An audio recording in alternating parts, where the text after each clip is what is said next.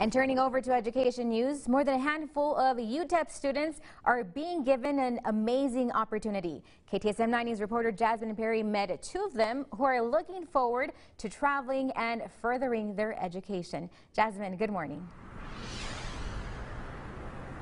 Good morning, Brenda. So nine, nine UTEP students are going to have the opportunity to visit Washington, D.C.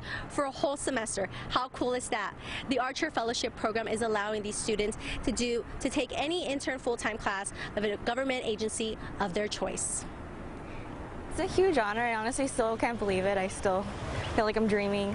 Um, but it, it is very rewarding, I will say, um, to have worked uh, so long on the application for it to, to pay off. Uh, totally unexpected. UTEP students are competing with other brilliant students around the country, many who have a keen interest in the legislative policy making process. A total of nine UTEP undergraduate students chosen to be part of the Archer Fellowship Program, where they get to intern and study in Washington, D.C. for one semester to learn about government and politics. Saul Fontes, a senior at the University of Texas at El Paso, majoring in Chicano studies with a minor in political science, is looking forward to representing his community in D.C. this upcoming fall. Fontes will major in urban planning for his master's and knows that in order to excel, he will need to learn the ropes of how the city and community operate in an effort to further his career opportunities. Part of this fellowship is, is you know, a, a great stepping stone in, in that direction.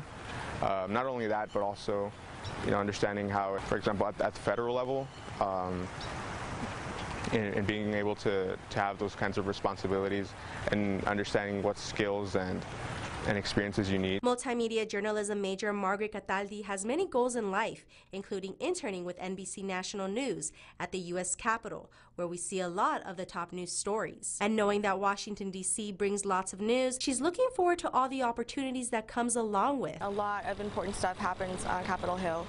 Um, whether it's you know uh, working directly for the government, government agency, executive branch. Uh, you can also work in the judicial branch. Um, you can work in legislation. You can intern directly with like senators and, and uh, policymakers. The Archer Center records show that many bright students have come out of this fellowship and achieved so much. Although students are already set to go for this fall and spring semester, if you or anyone who is a UTEP student would like to sign up, go ahead and go to our website at ktsm.com. Reporting in West El Paso, Jasmine Perry, KTSM 9 News.